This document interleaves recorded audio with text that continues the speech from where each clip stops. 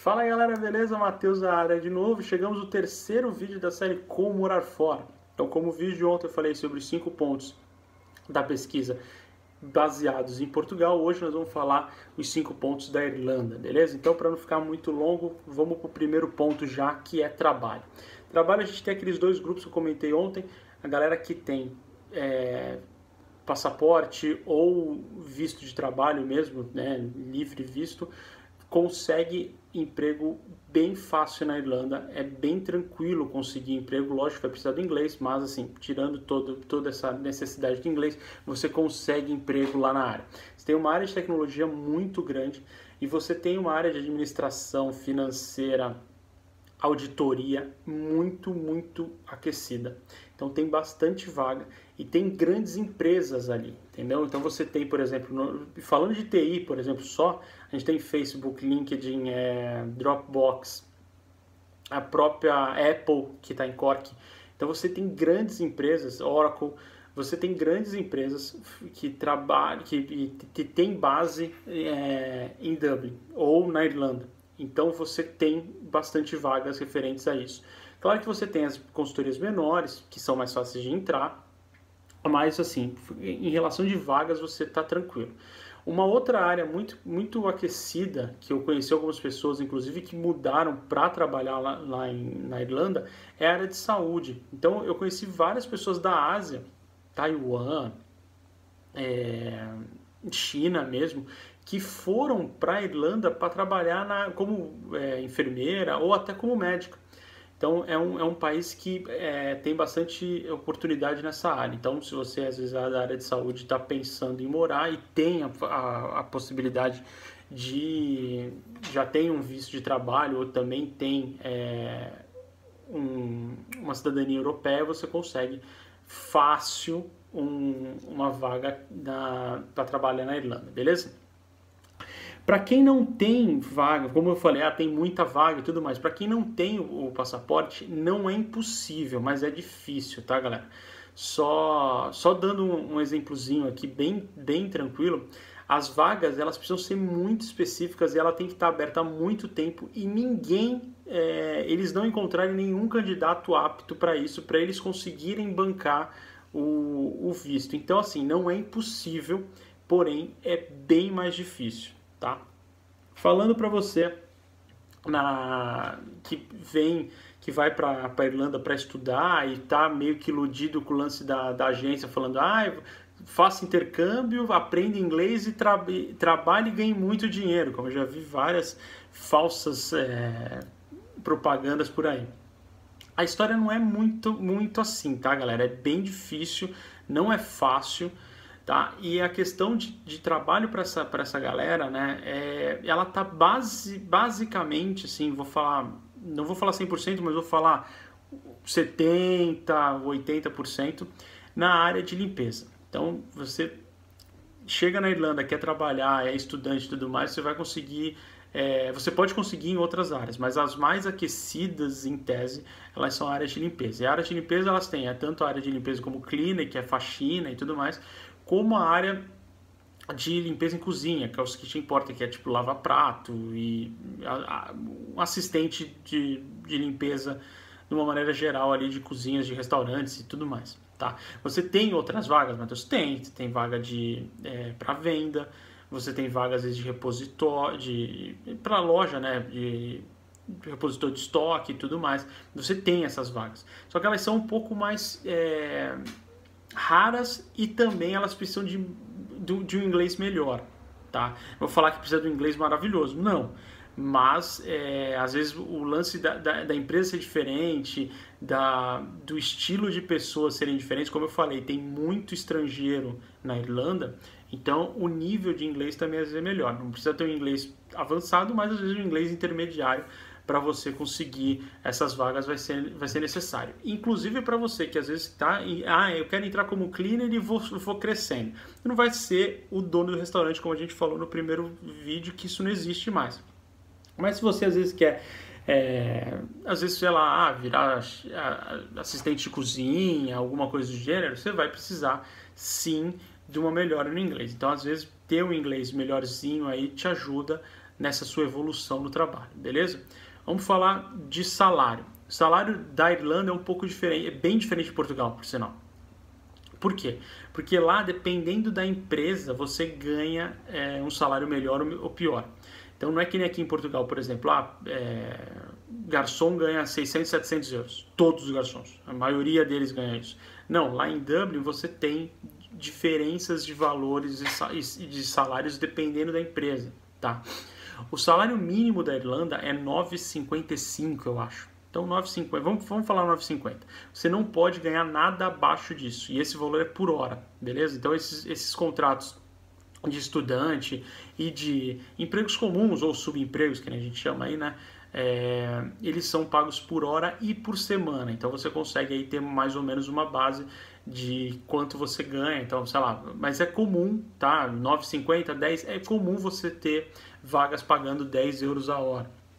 Então, o estudante pode trabalhar oficialmente 20 horas, então mais ou menos vai dar aí 800 euros por mês, beleza? Como um salário mínimo, trabalhando 20 horas por, por, por semana, né? Que seria 4 horas por dia, mais ou menos.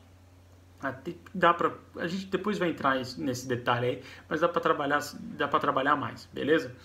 Para galera que faz, é, busca um, um, uma vaga de profissional mesmo, então área de TI, ou área de saúde, ou área de engenharia e tudo mais, os valores são por ano, tá? Então é, é comum você ver às vezes na, na, na, descrição da vaga, tipo, ah, 50 mil.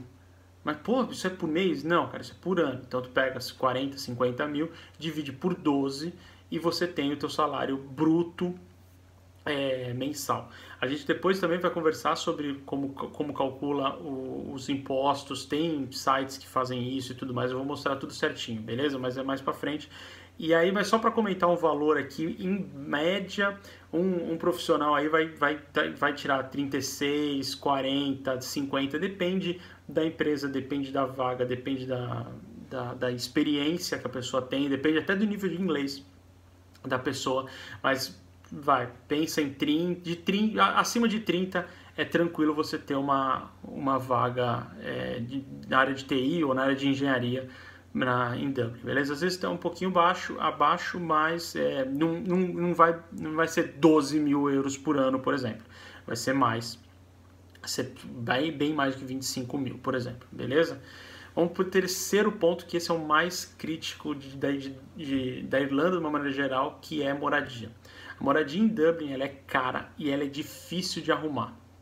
Ah, por que, que é difícil de arrumar, Matheus? Porque é o seguinte, você precisa. Existem sites tipo DAFTA, que é tipo um aglomeradão de vagas de, de casas e quartos e tudo mais. E é, você precisa se apresentar para a pessoa por e-mail. Então você tem que fazer uma carta de apresentação falando o que, que você faz, quais são os seus hobbies, por que, que você está na Irlanda, blá, blá, blá, blá, blá, blá, e você tem que torcer, rezar 30 mil Pai Nossos para a pessoa te responder esse e-mail com o endereço, falando, ah, agora vem e a gente vai conversar pessoalmente. Aí você vai na casa da pessoa ou na, na República em si e, com, e, e, faz de novo uma entrevista, né? E aí tem que torcer para as pessoas gostarem da sua fisionomia e do seu jeito de ser para eles chegarem e falarem, tudo bem, vem morar com a gente, começa quando você quiser. Tá.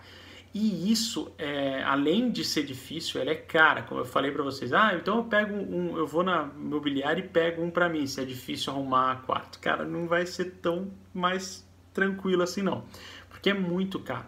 Por exemplo, um quarto no centro, é, de beliche, que você vai ter 10, 12 pessoas morando no mesmo, na mesma casa, de 3 quartos, 3, 2, 3 quartos. É, então, dois, duas, três beliches é normal você ter no, em Dublin, tá? Então você vai morar com, dividir o quarto com mais cinco pessoas, uma beliche daquela ali vai ser 350, 400 euros. Então você começa a fazer uma conta meio que inversa. Você ganha, vai, mais ou menos 800 euros, só que você paga para dormir, só dormir, paga 400 euros. Se você for para fora do centro, você talvez tenha um valor um pouquinho abaixo. Mas não é tão abaixo assim que vai te fazer, por exemplo, ah, pagar 150 euros. Cara, isso não existe, não existe. Um quarto single, se você quiser um quarto só para você, dividindo ainda a casa, vai começar aí por, vai, vou colocar 600 euros, mas querendo colocar 700, tá? Então é caro, é bem caro, tá? O que muito brasileiro faz? Eles se aglomeram, então mora tipo 15, 20 brasileiros numa mesma casa e, e, eles ficam às vezes trocando de, de, lugar, entendeu? Ah, saiu de uma casa que tem 20 brasileiros, vou para uma casa de 12 brasileiros. Aí abre a minha vaga ali do de 20. Então algum outro cara pega ali, outro, algum outro brasileiro.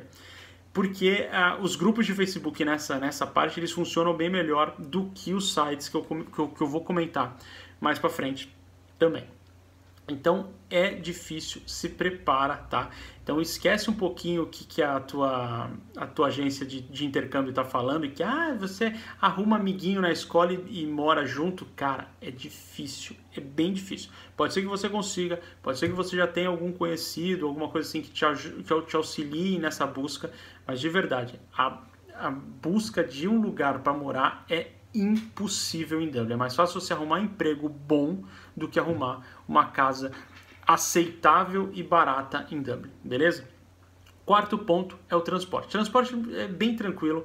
É, os ônibus cobrem toda Dublin e fora de Dublin também. É, eles funcionam, tem o lance de trânsito, trânsito é meio caótico, mas eles funcionam de uma maneira boa. E você também tem o Luas, que é tipo um metrozinho de superfície, que também cobre mais ou menos a cidade. E Dublin ela é plana basicamente, então você consegue andar bastante tanto de bicicleta quanto de quanto a pé. Eu nunca peguei, por exemplo, nunca peguei, acho que eu peguei duas ou três vezes ônibus morando mais de um ano lá. E eu nunca peguei luas.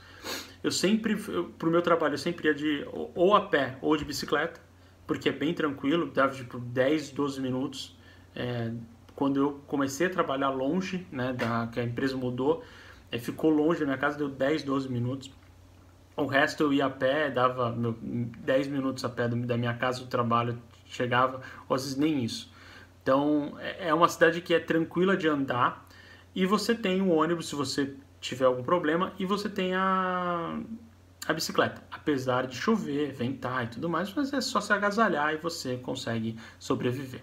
E o quinto ponto é quase inexistente, que é comida. Comida em Dublin, esquece, não tem muita coisa. É... Não tem muita coisa tradicional deles. É...